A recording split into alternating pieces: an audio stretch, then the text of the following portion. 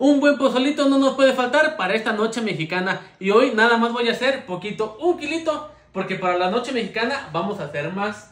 Ya tengo aquí agua calentando para avanzar más rápido. Voy a ponerle 5 dientes de ajo. Puedes ponerle un poquito más. Estos están, pero sí bien grandes, que casi es como media cabeza. Un trozo de cebolla. A mí me gusta agregarle cebolla. Y aquí tengo ya el maíz listo, ya está. Nixtamalizado, listo para echar. Para el nixtamal pongo el agua, el maíz y la cal. Y una vez que el maíz se empieza a quitarle la cascarita, lo dejas enfriar. Y ya después lo lavas muy bien, le quitas toda la cascarita y está listo para usarse. Y aquí lo vamos a dejar un ratito hasta que floríe el maíz. El maíz ya reventó, ya está muy bueno para ponerle la carne. Lo voy a hacer solo de puerco.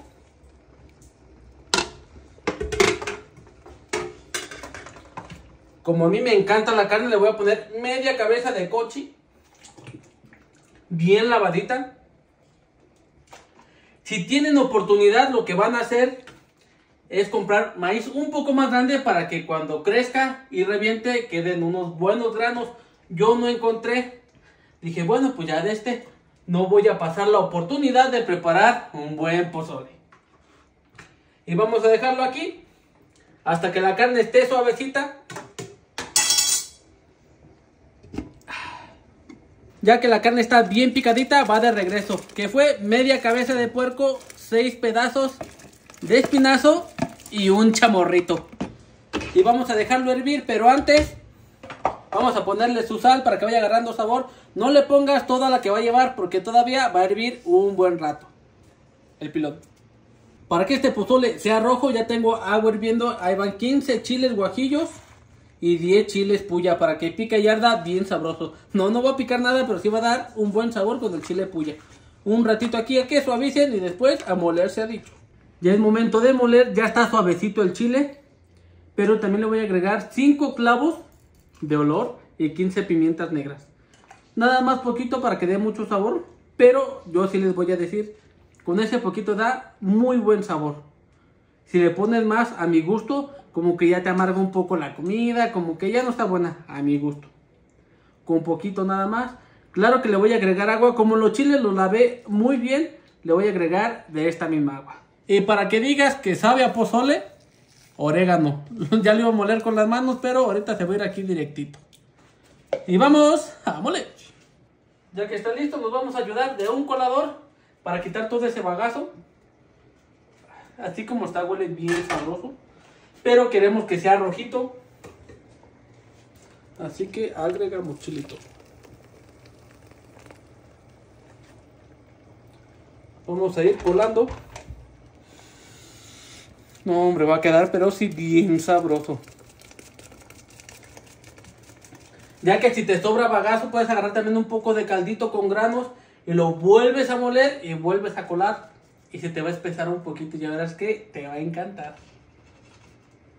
Eh, síguele acelerado.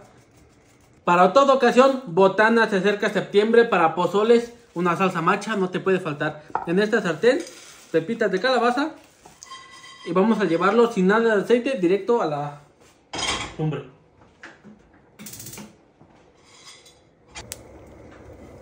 Ya están buenos, van para afuera.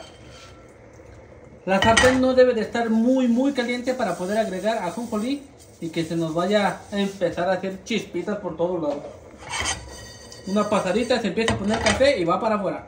Aceite caliente y para espantar a los a los draculines, seis saquitos. Los partí un poquito para que se doren más rápido. El ajo ya está bien doradito, ahí va para afuera.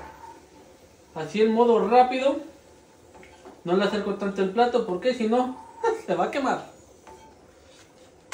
Este lo pongo aparte. Acá tengo un puñito de cacahuate.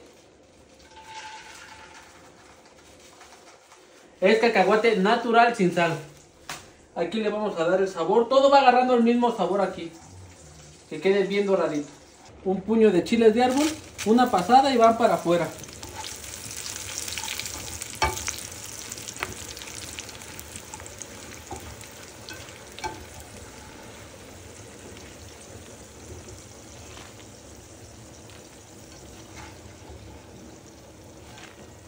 Y voy a dejar de enfriar el aceite porque lo voy a ocupar. Y lo que voy a moler son los cacahuates, los chiles y el ajo. Lo demás se lo voy a agregar enterito. Solo que tenemos que esperar a que el aceite esté frío para que no se vaya a separar y nos quede una salsa bien sabrosa. Su pizca de sal para que vaya agarrando sabor. El aceite. Y vamos a moler. Y así es como queda la salsa. Órale. Neta, muy sabrosa. Ya nada más tenemos que dejarla reposar. Incorporamos. Y vamos a agregar también de una vez todo esto. Para que quede la salsa un poco espesita. Una salsa macha bien sabrosa. Y este pues vamos a escurrirle todo lo que le salga. Si no quieres esta salsa tan espesa, ponle más aceite caliente sin problema. Ahora sí ya está todo listo. Después de más o menos unas 6 horitas ya está el pozole. Y a mí me encanta hacerle caso al nutriólogo y me dijo que solo me comiera un platito de pozole. Entonces, ay, ay, ay, ya tengo mi platito de pozole. Pero yo siento que si me sirvo en este, los dejaré sin pozole. Así que vamos a servirnos en uno normal. Aquí está el platito. Y vean, bien sabroso. A mí me encanta el pozole. Si estoy seguro que decir, sí, por eso estás así. Cada quien también hago ejercicio, pero el pozole es mi debilidad. Ahí está. Y vamos a preparar.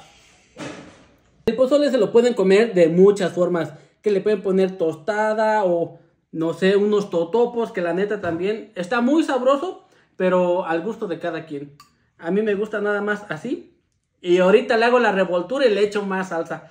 Pero, provecho.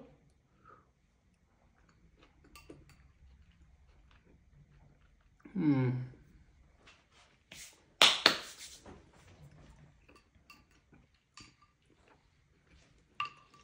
Les digo que el pozole es lo que a mí me encanta. Ante toda la comida, para mí el pozole va primero.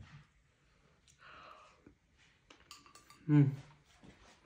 Si no saben qué preparar para esta noche mexicana, ya tienen el pozolito y el rojo. Pásenla chido y nos vemos en el siguiente video. Hasta luego.